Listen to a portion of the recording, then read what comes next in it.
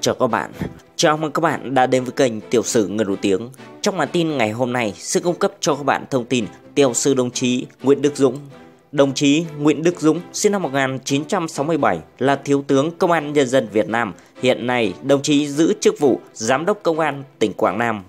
Đồng chí Nguyễn Đức Dũng sinh vào ngày 1 tháng 7 năm 1967, quê quán tại xã Phổ Văn, huyện Đức Phổ, tỉnh Quảng Ngãi, nay là phường Phổ Văn, thị xã Đức Phổ, tỉnh Quảng Ngãi. Tháng 10 năm 1985, đồng chí gia nhập lực lượng Công an Nhân dân Việt Nam. Đồng chí tốt nghiệp Đại học An ninh Nhân dân, còn là đảng viên Đảng Cộng sản Việt Nam, có chứng chỉ cao cấp lý luận chính trị.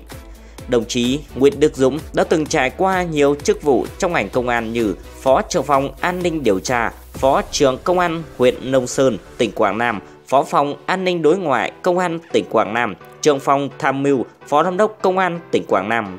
Tháng 9 năm 2016, đồng chí Nguyễn Đức Dũng đã được bổ nhiệm giữ chức vụ Phó Giám đốc Công an tỉnh Quảng Nam.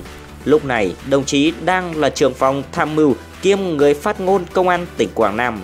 Từ ngày 11 tháng 11 năm 2019, Đại tá đồng chí Nguyễn Đức Dũng đã được Bộ trưởng Bộ Công an Việt Nam Tô Lâm bổ nhiệm giữ chức vụ Giám đốc Công an tỉnh Quảng Nam thay cho Đại tá Nguyễn Viết Lợi nghỉ hưu. Công an tỉnh Quảng Nam lúc này có 4 phó là Đại tá Phan Văn Dũng, Đại tá Nguyễn Hà Lai, Đại tá Huỳnh Sông Thu và Thượng tá Nguyễn Thành Long. Từ ngày 17 tháng 2 năm 2020, đồng chí Nguyễn Đức Dũng đã được Chủ tịch nước Nguyễn Phú Trọng thăng cấp bậc quân hàm từ đại tá lên thiếu tướng theo quyết định số 217 QĐ-CTN ngày 17 tháng 2 năm 2020 cùng đợt thăng quân hàm với đồng chí Nguyễn Đức Dũng còn có 5 người khác, 3 người thăng trung tướng, 2 người thăng thiếu tướng.